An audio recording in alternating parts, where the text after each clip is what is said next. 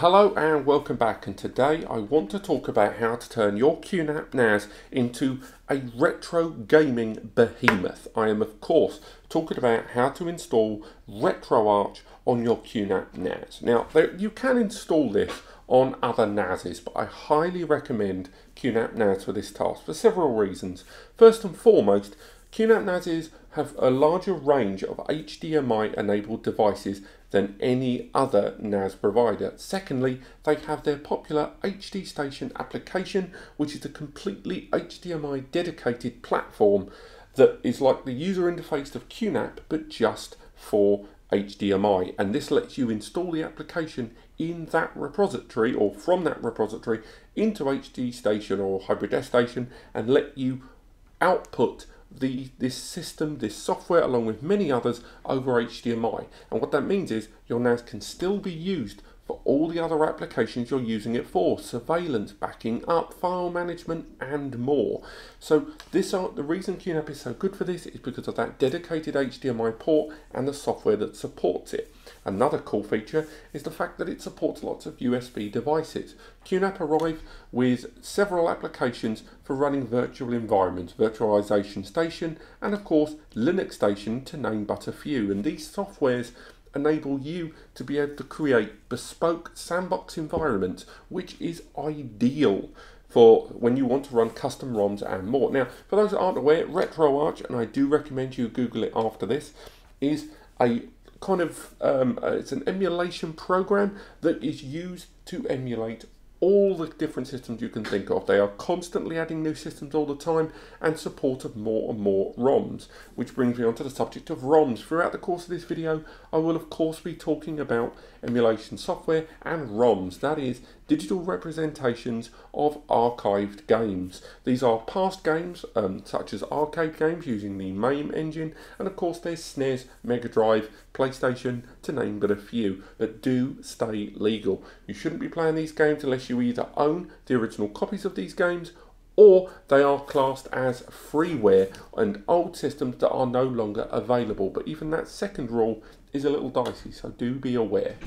Um, and do choose wisely where you choose to get hold of your ROMs. Now, before I go any further, I think it's very important, and I've wasted enough of your time already, to thank the guys over here at the QNAP NAS Community Forum, and of course, some of these key players over there, because some of these guys, the way they've been bringing these apps to your attention, some of these homebrew applications, is worthy of all of your respect. And it's thanks to these guys that this video is possible. They constantly update this copy of uh, RetroArch to work with expanded and improving versions of HD Station. So the first thing you need to do is head to this link up here in order to get this emulator. Now I do recommend you go for the latest version down here, but do double check that you get the right version for your system and you will need an HDMI enabled NAS that features an Intel based CPU, so do bear that in mind.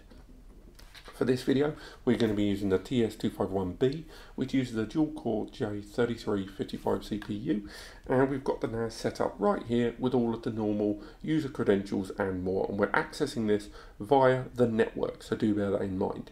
Um, once you've clicked this file here, it will automatically download, and then head over to your QNAP NAS, go into the App Center.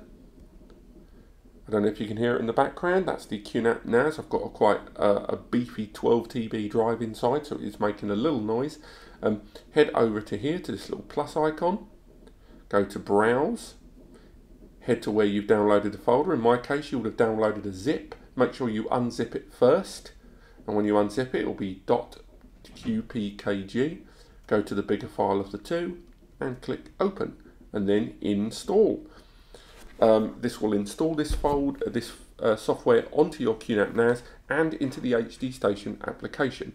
Do bear in mind that I've already installed this app on here before and deleted it for the course of this video, so don't be surprised if some options already seem like they've been done in advance.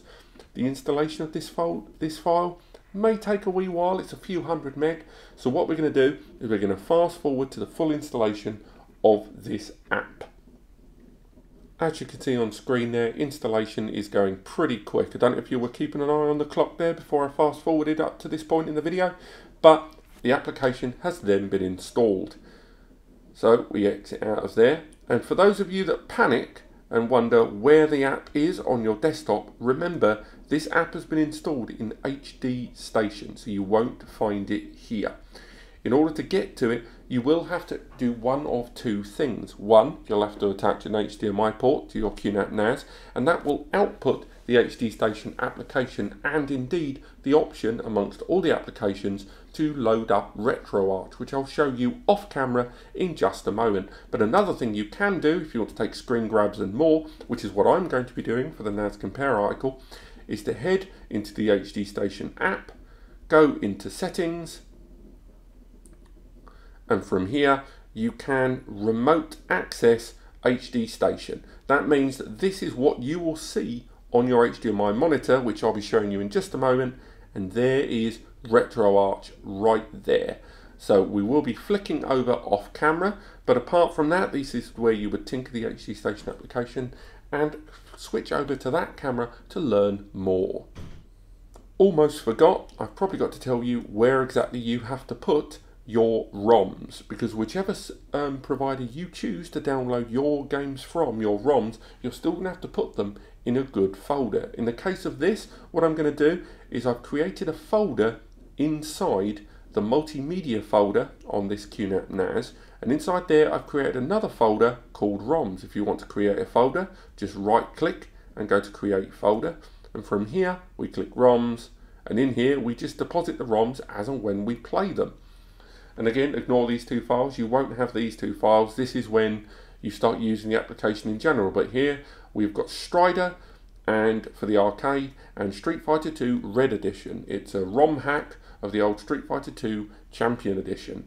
And again, because it's in a shared folder, do remember, because on RetroArch I'm going to show you how to access the shared folder. But without further ado, let's make our way off camera to our HDMI monitor. Okay, so here's the moment of truth. Here is RetroArch running on a QNAP NAS. Once again, the TS251B.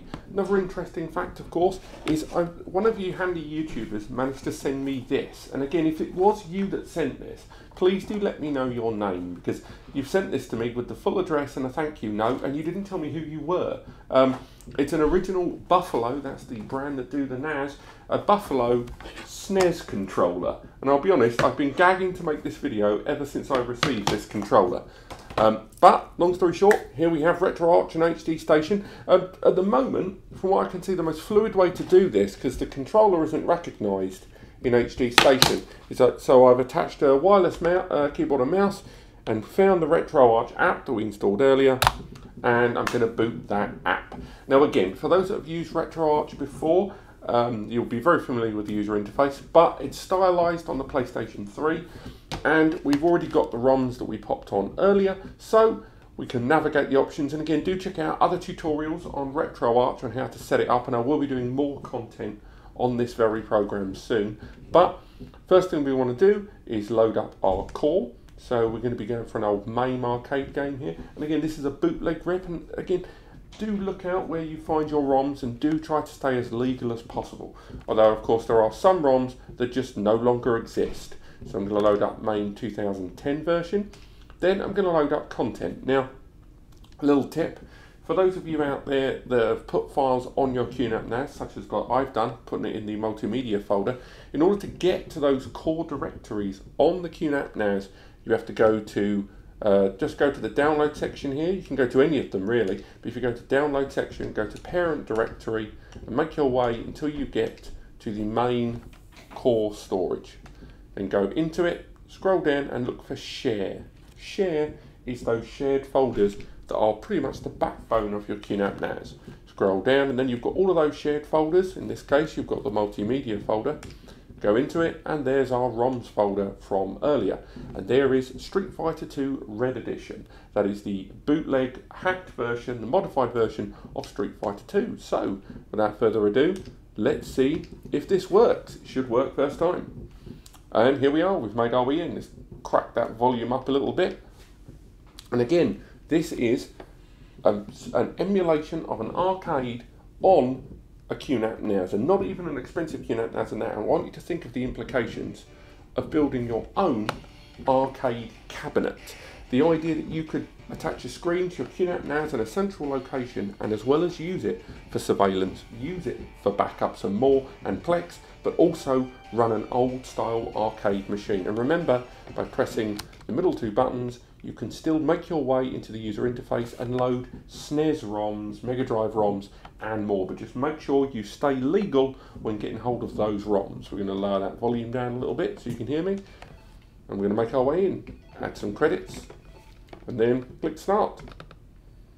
And again, remember, the QNAP NAS is still completely usable as a normal NAS throughout this. Now do remember, this is the modified version of Street Fighter, so you are going to see some new stuff here make my way into it. As a kid, I remember getting a chance to play this rather fancy version of Street Fighter and just being astounded.